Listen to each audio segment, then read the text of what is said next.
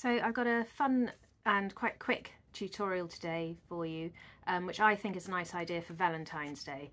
So I had a think about what I could do and I ended up doing loads of like hearts and flowers and it all just seemed a bit twee and, and anyway then I fell upon this. Um, so it's sort of it's raised up from the surface and then the fish are raised up and the hearts are raised up. Um, but yeah it's quite quick and it's quite easy to do uh, so yeah, if you fancy it, then have a look. So I'm starting out, I've got these ready-made greetings cards. Um, they're quite cheap, they come from The Works, I think. Um, and obviously they've got envelopes with them. So I've taken a piece of watercolour paper and I've just cut it down to roughly the size of the card. And I'm going to make the deckled edges. So I'm going to take my ruler and leave myself a space. If you go too close to the edge, it's going to be quite difficult to tear it. Um, so I'm going to go about that, which is what, about a centimetre, I suppose. Um, I've got this tool which is for scoring paper.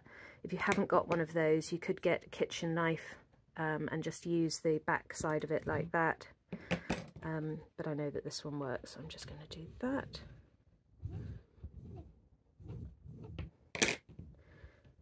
And then keeping your ruler there just fold up the edge slightly and then pressing down on the ruler tear along that edge. And then you can use your tool just to flatten out any lines. And the same on the other side so about a centimetre in. Here I'll have a go with a kitchen knife on this one.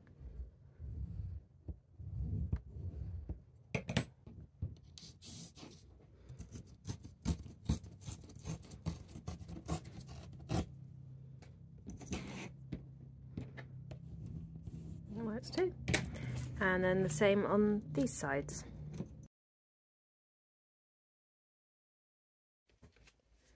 and then get your card and just check that it sort of fits nicely or how you'd like on your card. So now I'm just going to very gently, not a hard line, pencil in um, a line so that I've got a border. So I guess I'm coming about a centimetre in again. Maybe a bit more. How much is that? Oh, just over one and a half centimetres. But I'm just eyeballing it.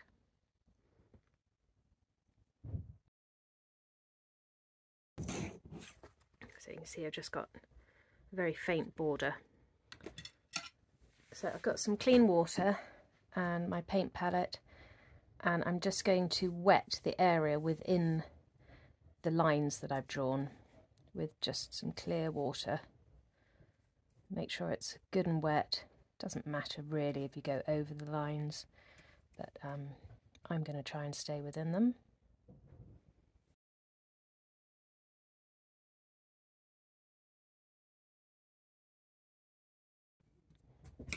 And then I'm going to take quite a big brush, so this is a size 4, and I'm going to get some ultramarine blue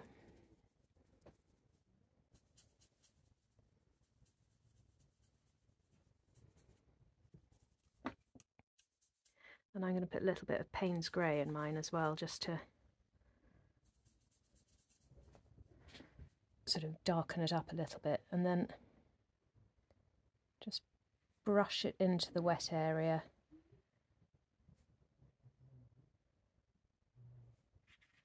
And you can splodge it around. So this is our sort of watery background.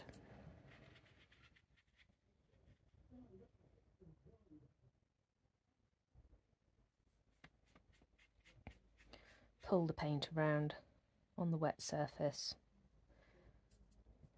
Make some areas darker and some areas lighter. I've gone over a bit there. If you go over, you can just flick it back up with your finger. Tidy that line back up again. So I'm going to splodge some bits on. Like that And then I'm going to take my pot of sea salt from the kitchen and just crush some over the surface.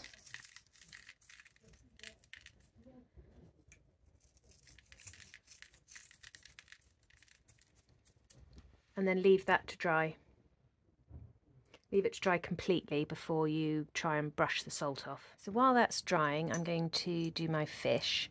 Um, I think I want my fish to be about six-ish centimetres long each. So I'm just going to put some little marks on. Let's put a mark there. And then want to draw a kind of elongated lemon shape.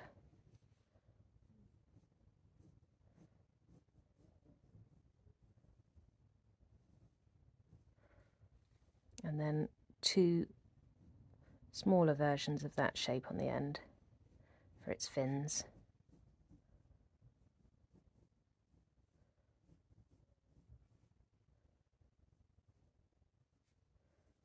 It's really simple childlike fish shape. And I'm going to do another one going the other way.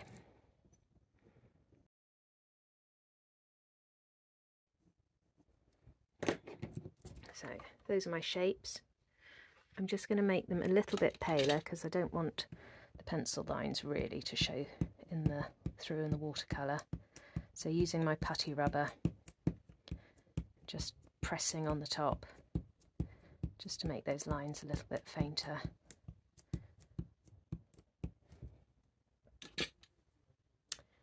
And then I'm going to take another paintbrush.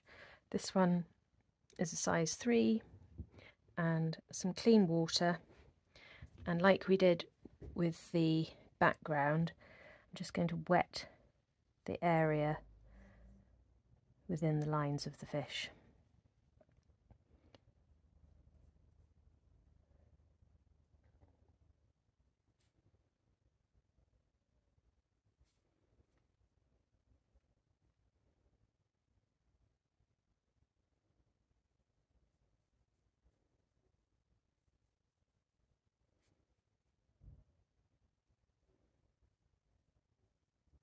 And then I'm going to take a bit of Payne's Grey. If you don't have Payne's Grey, you could use a bit of black, maybe put a little bit of blue in it. That will give you a similar colour. Um, or you could use more of a trout and put a bit of brown in it. And then just soften that in. So I've just gone around the edges. I haven't completely filled the fish, just makes the fish look as though it's a bit more 3D.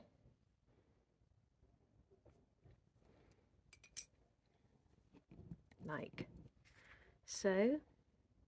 And I'm going to do the same with the other one.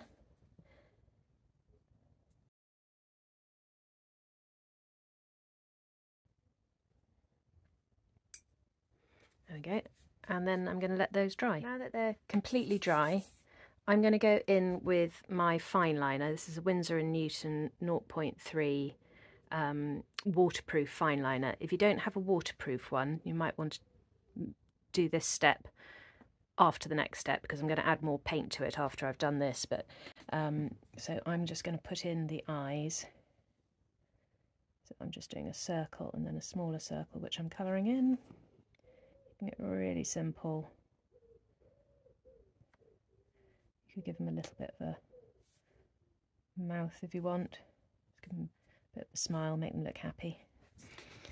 Um, and then I'm going to do a, an outline. I'm not going to do, be too tidy about it. Just a black outline around them.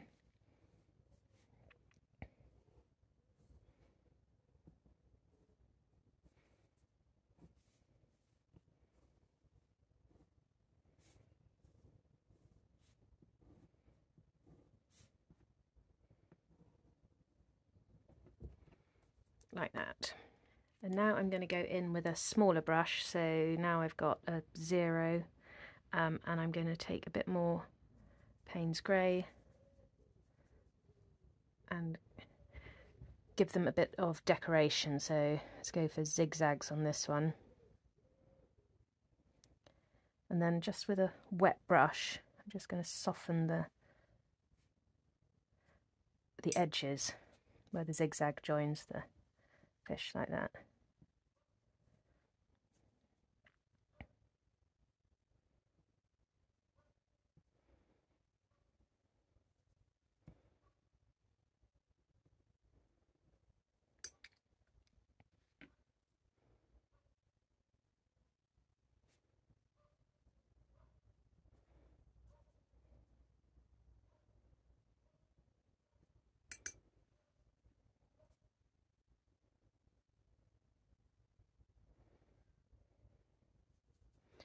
and I'm going to do its fin, so just some lines down like that.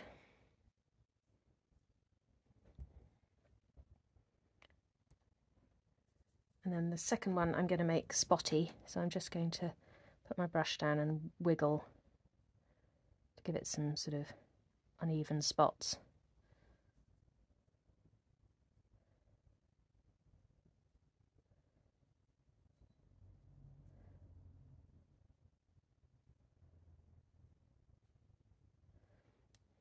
And again, I'm just going to, with a clean wet brush,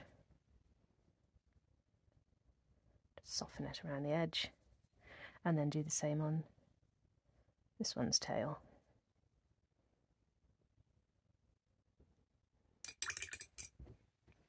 And then we can let those dry and we can cut them out. So I've got a pair of little scissors and cut them out roughly to begin with.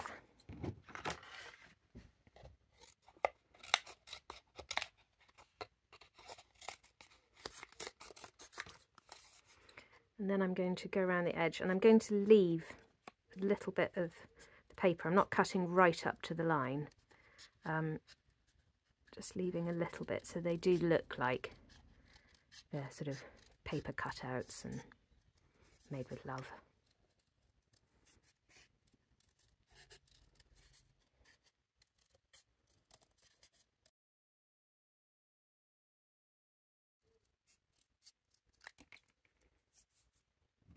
Two little fishes. So you can see we've got quite a nice sort of watery, uneven um, texture there. And then you can sort of place your fish and think about what they're going to look like. Um, but I'm going to do some more to this before I put the fish on. So I'm going to rub out any pencil lines that are still showing from where I drew on my border.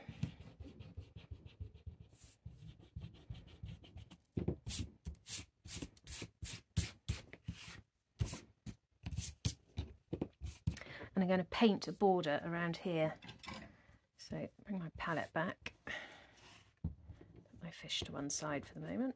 So I'm going to stick with the same colours I had, but just use um, a thicker, darker mix. So I've got my ultramarine and some more Payne's Grey. And I'm going to start by doing a line around the edge. So you can do it freehand if you want. It doesn't matter if it's wobbly. It's sort of part of the charm of it. Um, or you could do my trick, which is to put a ruler down inside of where you want to draw the line. And then using this finger, you rest that on the edge of the ruler. So that's your guide. And you place your brush and then sort of lock your hand and follow the ruler down like that.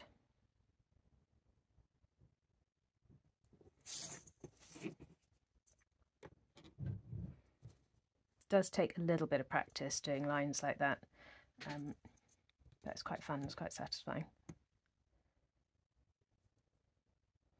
So this finger here runs along your ruler and your brush rests on top of it.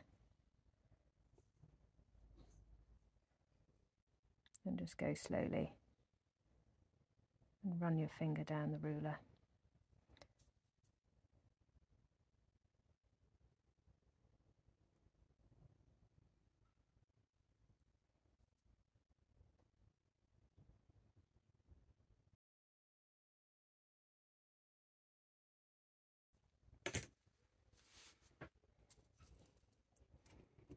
and then I'm going to give it a little bit of decoration. Make sure I got plenty of paint there. And I'm just going to give it a bit, make sure this is dry before you put your hand on it. Just give it a bit of a scalloped edge. So I'm going to start in the corner and then just draw some shapes on like that. And I'm going to go all the way around.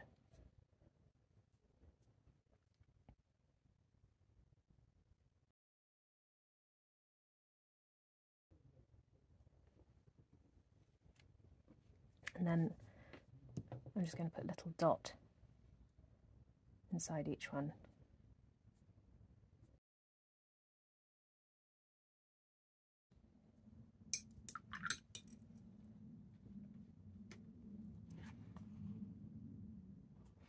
So I'm planning on doing um, writing around the outside.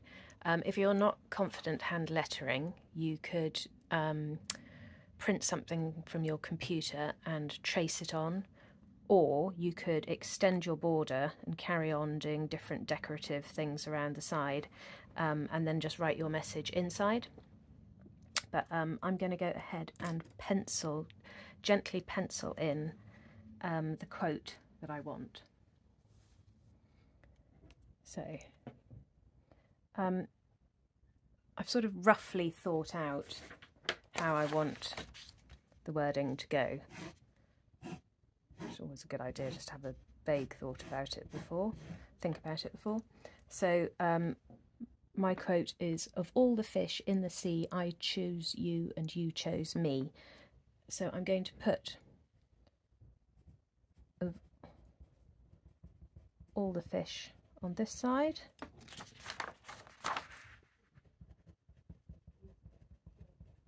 And then this edge is shorter, so it's going to have to be a, a shorter bit there. So in the sea,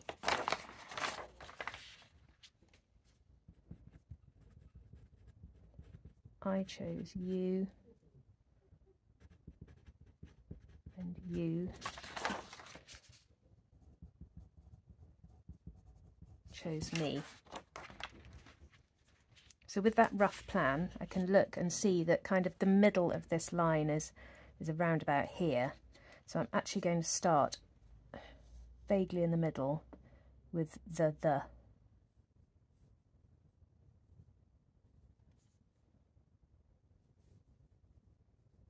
Oh, writing fush rather than fish. And I'm just very gently penciling it in and then I'm going to go backwards and go all and of just so that it's kind of spaced nicely and then in the sea, that is the middle word so let's do that one first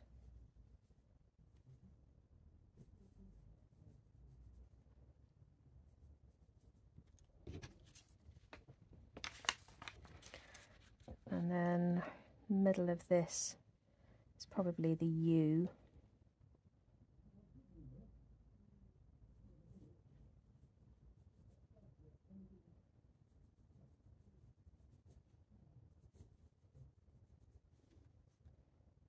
And go back to the chose. I chose you and you chose me.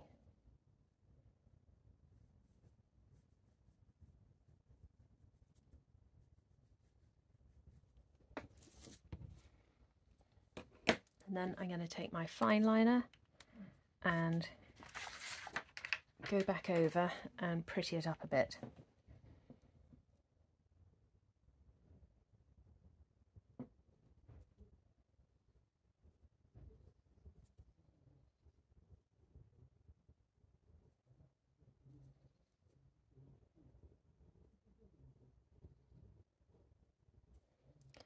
Now what I like to do is on the downward strokes, thicken up the line. So anywhere, so there I would have gone up and then I'm coming down. So that little bit there is going to be thicker and the same there.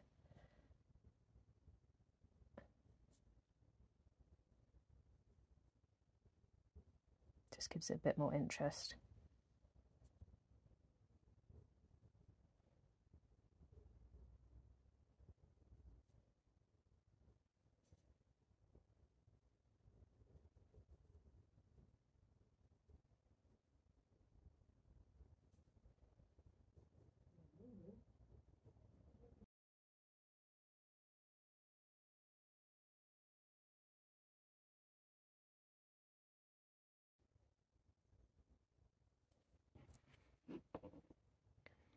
And then make sure that the pen is completely dry before you rub out your pencil marks underneath. So while I'm waiting for that to dry, I'm going to do some little hearts.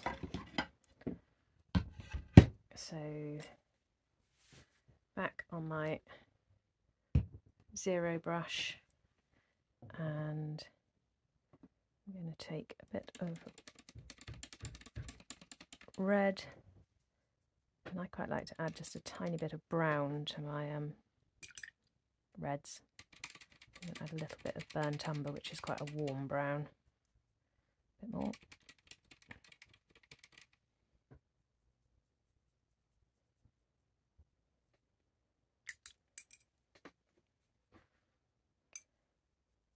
I'm just going to paint some watercolour hearts in varying sizes.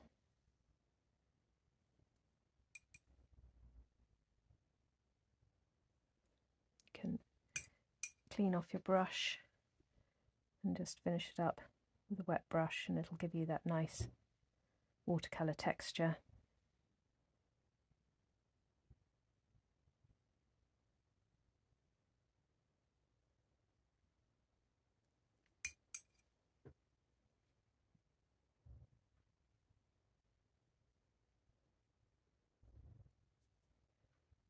dip a bit more watercolour on there if you want to really accentuate the watercolour texture.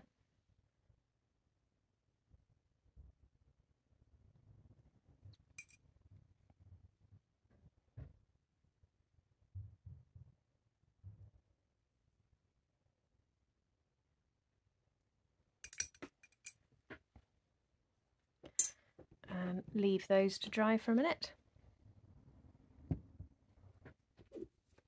We come back to our um, background, rub out the pencil lines behind the writing.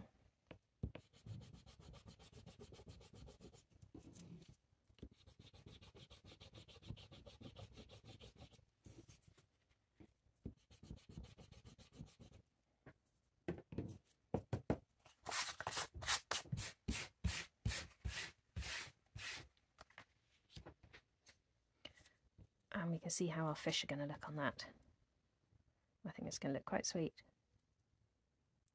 So I'm going to take my fine liner and go round my little hearts again in quite a rough way, not being very precious about it.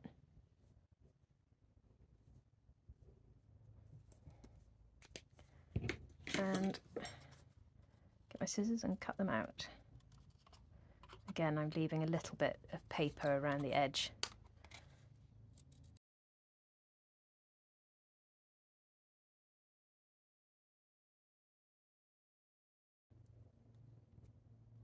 And now we need to think about where we want to position them. So I've kind of done mine like this. But you can mess around, you can have them at an angle. Um, or you could have some little bits of seaweed. Doesn't have to be exactly like this. That's how I want mine. And then I've got some double-sided foam tape. And I'm going to cut some bits off to stick behind the fish. So a longer bit for its body and then a little short bit for its tail. And stick that on the back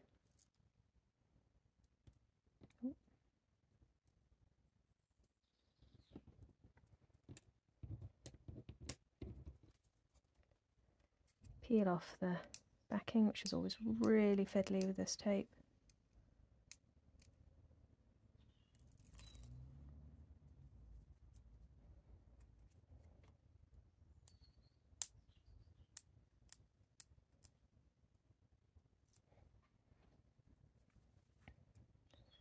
And then once I know exactly where I want them, put them a little bit lower.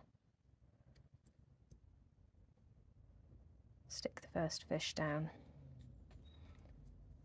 And the foam tape's nice because it just raises them up from the surface slightly. And same for the other fish.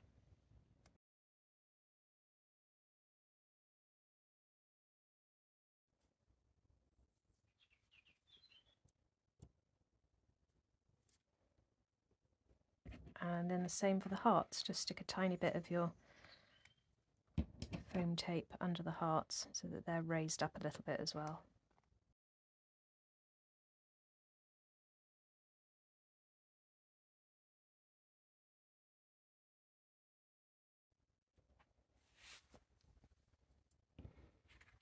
And there we have them secure in place just raised up slightly from the surface and they cast a bit of a shadow, which I always think looks quite nice.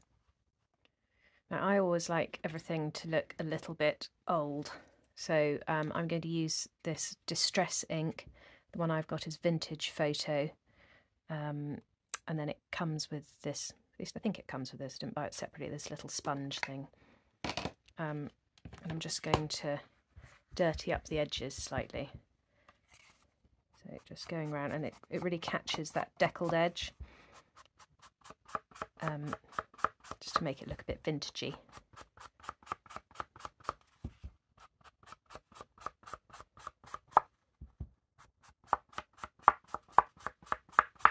This is completely optional, of course, because, I mean, I, I like everything to look quite old, but not everybody does.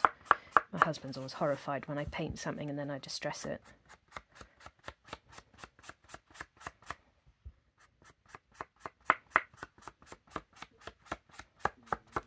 I think it gives it a little added charm. And then this is ready to stick onto your card. So like I said, I've already got these cards which have been creased down the middle and fold nicely. And I know that I've got an envelope that fits. So I think I might use a bit more of my um, double-sided foam tape and stick it down with this. So let me put some around the back.